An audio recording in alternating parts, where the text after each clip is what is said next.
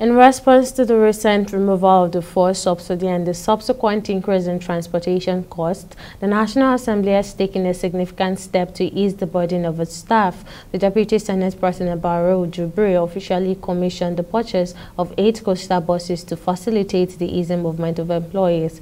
During the ceremony, Usman Mohammed, the chairman of the Parliamentary Staff Association of Nigeria, received the keys to the buses on behalf of the staff. He expressed gratitude to the leadership of the National National Assembly, assuring that the buses will be used effectively for their intended purpose.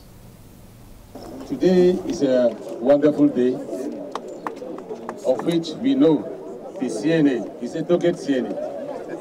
It's a miracle CNA. The one that when we carry our cry, he will say, consider it done. The Senate President and Deputy Senate President showed it to us last two weeks when we came for a visit, a courtesy visit.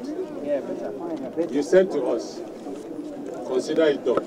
And highly honored to represent the President of the Senate and Chairman of the National Assembly, Senator Godswill Obot Akpabio, in commissioning these buses. Let me begin by commending Assembly.